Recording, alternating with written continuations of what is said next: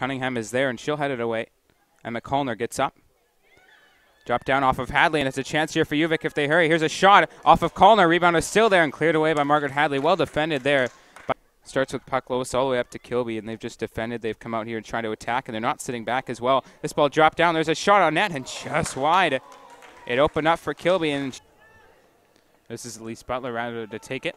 Dangerous ball, and it drops down, and just wide of the goal. You think it was wide go going in either for Zal's record. One to tie, two to beat it. Good ball into the box. It's a chance here, and they score. Great ball in, and it's the substitute Kyra Tietzen who scores for this. Okay.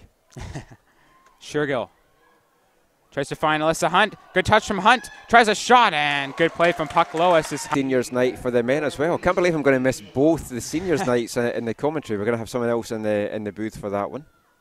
Yeah, I don't know if. Oh, bounced through just about Miracle Just to find Dana. She's on side. Dana's through.